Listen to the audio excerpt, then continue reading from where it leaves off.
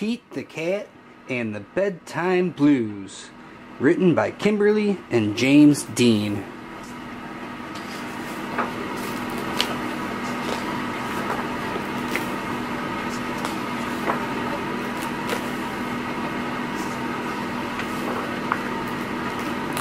Pete and the gang had a great day. They'd been at the beach, surf and sun and tons of fun. But when the sun went down, they didn't want the fun to end. Pete had an idea. Hey, how about a sleepover? More time for tons of fun. Groovy. Pete's Place. Let's go. The party was far out, but they knew they couldn't stay up all night. The gang decided it was time to say goodnight. On went the pajamas, and out went the light. Good night, Gus. Good night, Alligator. Good night, Toad. Good night, Pete. Pete was just about to catch some Z's when clap, clap, clap, who did that? Pete asked. It was me, said Grumpy Toad. I don't want to go to bed.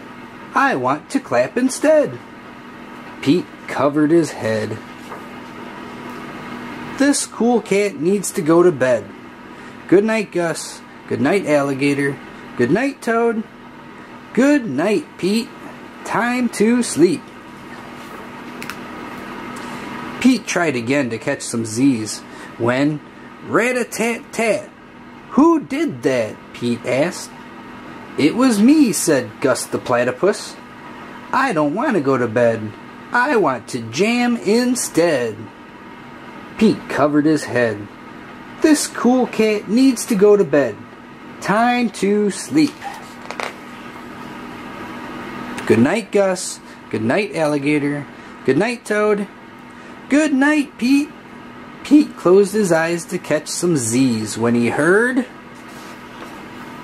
Munch, munch, munch. Pete had a hunch. It was Alligator.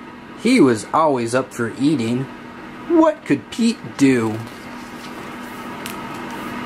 All the clapping, rat-a-tat-tatting, and munching was giving him the bedtime blues. Pete had a groovy idea he got out his favorite bedtime story and started to read. First to himself, and then to the gang. Pete noticed it was finally quiet. No more clapping, no more rat-a-tat-tatting, and no more munching.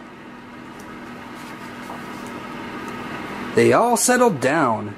No one made a sound. Pete yawned and turned off the light. Good night. Sleep tight. Time to catch some Z's. Tomorrow was another day for surfing, sun, and tons of fun.